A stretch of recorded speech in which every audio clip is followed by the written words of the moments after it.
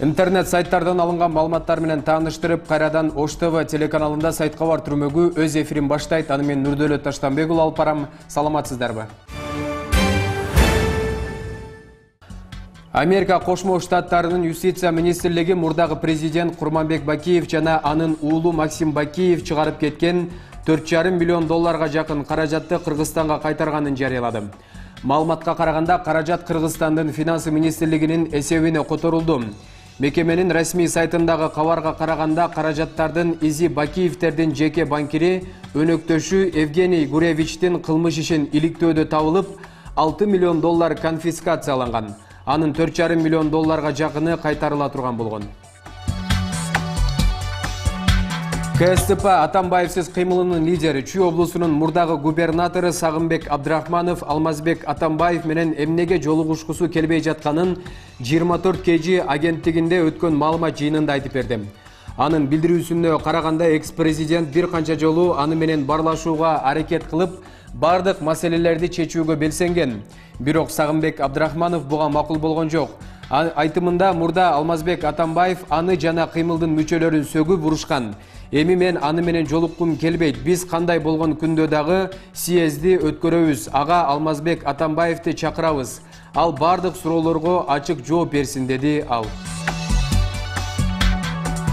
Калпакка маданий символдун макамын берүү боюнча мыйзамды кабыл алсак эртең элечекке дагы башка кийимдерге дагы макам бергиле деп келишет бүгүн жогорку кеңештин жалпы жыйынында улуттук баш кийим ак калпакка маданий символдун статусун берүү жөнүндө мыйзамдын долбоору талкууланды депутат рыспек кожобаев болгону улуттук баалуулуктарга болгон сүйүүнү ойготуп ал ар бир адамдын жүрөгүндө жашай тургандай кылышыбыз керек деп билдирди урматтуу демилгечилер конечно мен кыргыз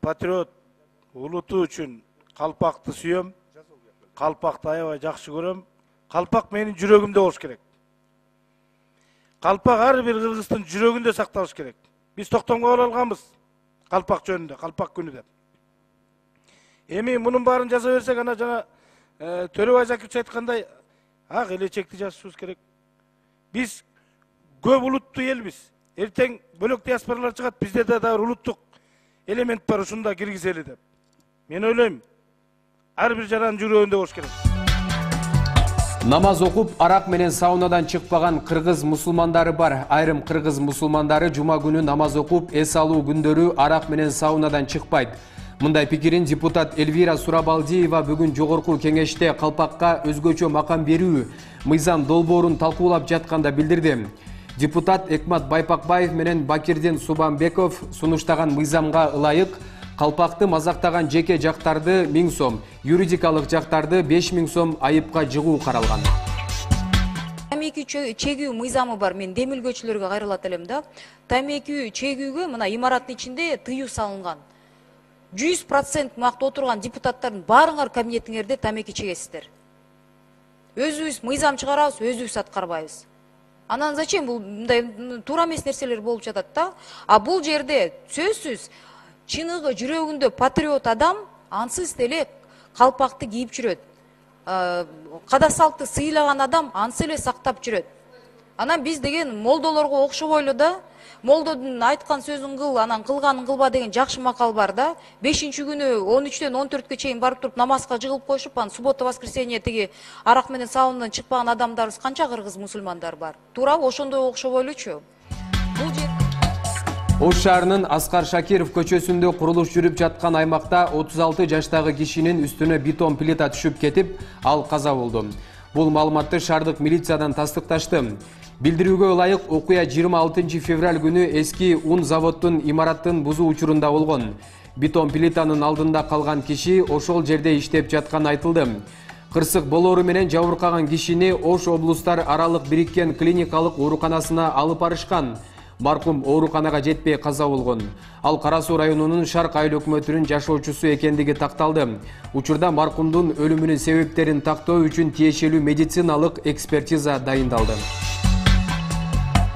Тажикстандын рудаки райондук соту баланын денесине он ийне киргизген деп айыпталган жыйырма жети жаштагы мухаео якубованы сегиз жылга эркинен ажыратты.